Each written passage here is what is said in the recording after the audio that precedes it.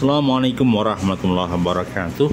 Selamat siang, semoga kita dalam kondisi kebaikan dan kenyamanan.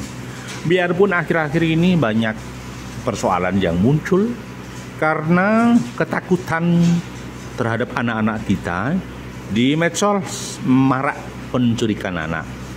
Yang menjadi pemikiran apakah ini muncul menjelang pesta politik demokrasi ataukah memang ada pihak-pihak terkait tertentu yang membuat iklim tidak nyaman.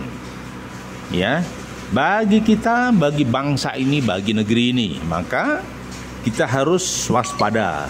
Berbagai pihak terkait harus bekerja sama agar penculikan anak tidak terjadi. Namun jangan sampai juga terlalu emosi. Belum ada klarifikasi, kemudian aksi nyata, misalnya sampai membakar pelaku, tentunya tidak benar. Maka tetap menggunakan jalur-jalur regulasi hukum, aturan main yang ada. Jangan sampai membuat sistem kegaduhan di sekitar kita. Baik, belakangan ini memang penculikan anak di sejumlah wilayah ya. Di awal Januari, Januari lalu sempat ada bocah 11 tahun diculik dan dibunuh oleh dua remaja di Makassar. Nah, kemudian motivasi mereka mencuri anak-anak karena tergiur besarnya uang jual beli ginjal. Ini yang menjadi masalah. Nah, belakangan muncul video seorang anak yang dimasukkan ke dalam karung oleh lelaki tadi kenal. Namun polisi menyatakan video video tersebut hoax. Nah, Nah, sedangkan menjadi catatan bahwa sempat ada data di tingkat kementerian Data Kementerian di Pemberdayaan Perempuan dan Perlindungan Anak ya, KPPA di tahun 2022 ya.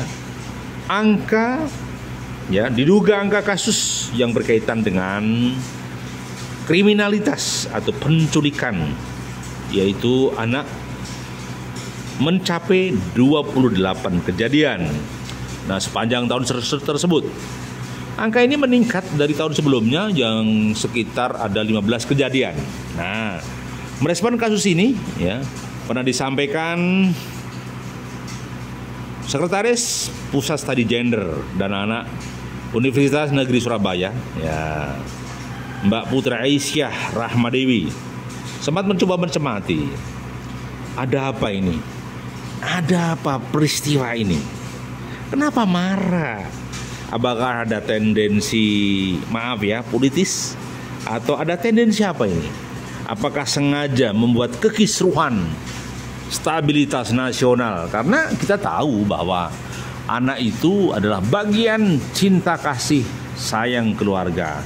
Kalau anak kita diusik, maka orang bisa menjadi panik.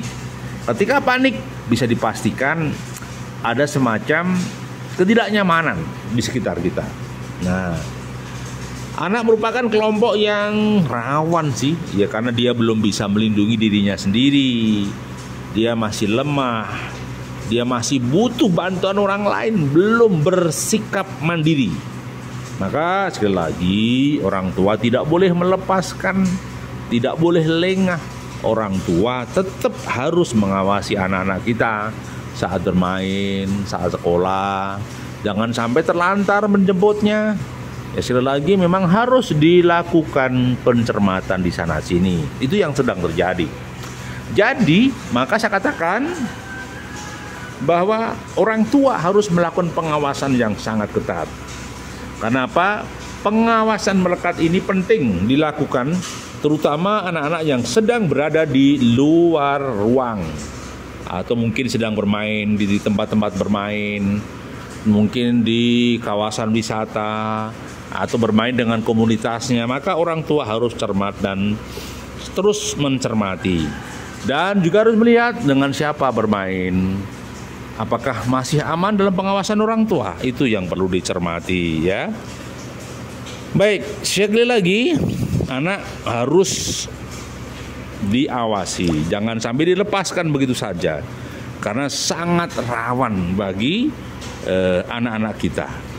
Jadi sekali lagi, nah sebenarnya ada apa sih ini? Ya, ini ada apa sih? Ini yang yang menjadi pemikiran kenapa ini? Kok terus seperti ini. Nah, padahal ini yang harus dicermati.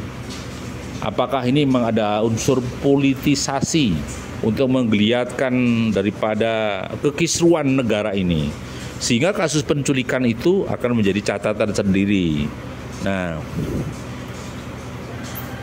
pernah ada di dalam medsos ya kasus yang muncul ya. Jadi maka harus sekali lagi harus harus dicermati ya dicermati jangan sampai hal-hal terkait menimbulkan ya kasak kusuk yang bermasalah. Nah, satu kesimpulan, mari kita simpulkan. Bagaimana mensikapi berita-berita yang seperti ini? Ya, mensikapi berita seperti ini, yang pertama adalah kita harus tenang. Kita harus tenang, kita harus sabar, kita harus berani komunikasi dengan pihak-pihak terkait. Entah itu dengan sekolah, dengan kepala sekolahnya, dengan gurunya, dengan walinya, dengan teman-temannya.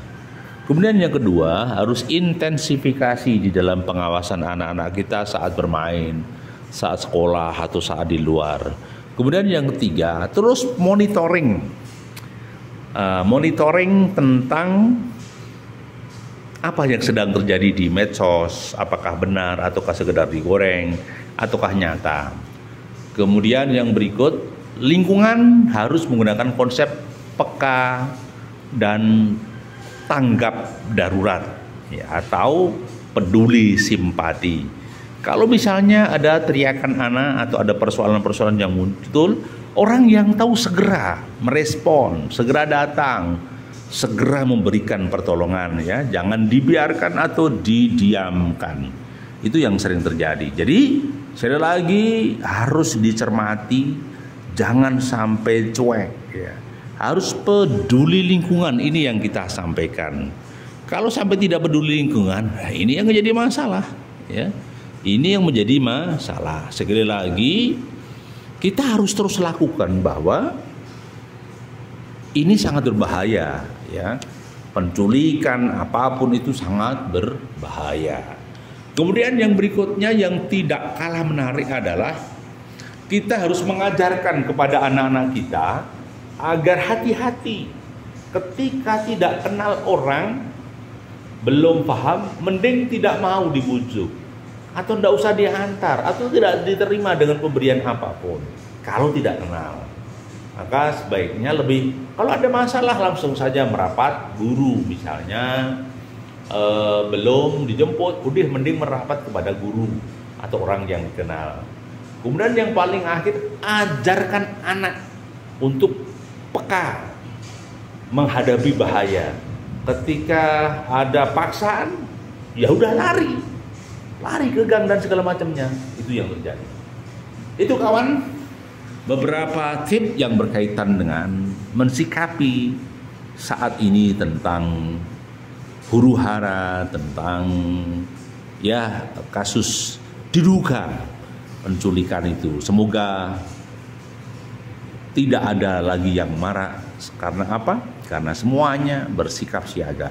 Saya yakin juga pihak-pihak terkait termasuk kepolisian, termasuk tokoh masyarakat dan pihak terkait pasti tidak gegabah di dalam mengambil langkah tetapi tetap cermat dan hati-hati agar semuanya aman dan terkendali sehingga tidak ada yang hoak tidak ada persoalan yang berarti. Semuanya bisa diatasi dengan baik.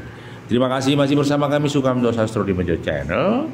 Bahagiamu, bahagiaku dan bahagia kita bersama. Insya Allah semua kasus yang muncul, semua peristiwa yang terjadi bisa diatasi dengan ridha Allah. Hasbunallah wa ni'mal wakil, ni'mal maula wa ni'mal nasir. Assalamualaikum warahmatullahi wabarakatuh.